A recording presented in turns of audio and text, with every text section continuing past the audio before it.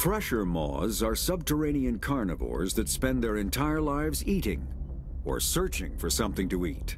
Threshers reproduce via spores that can lie dormant for millennia, yet are robust enough to survive prolonged periods in deep space and atmospheric reentry.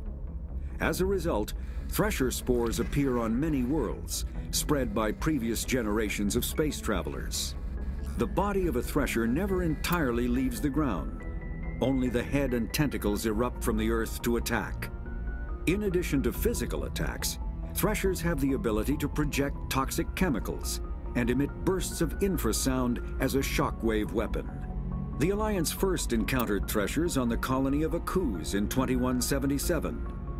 After contact was lost with the Pioneer team, Marine units were deployed to investigate. The shore parties were set upon by hungry threshers, and nearly the entire assault force was killed. Alliance forces recommend engaging threshers with vehicle-mounted heavy weapons.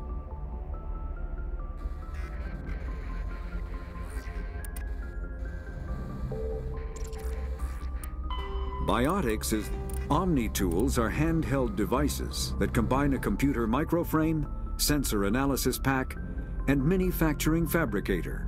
Versatile and reliable, an Omni-tool can be used to analyze and adjust the functionality of most standard equipment, including weapons and armor, from a distance.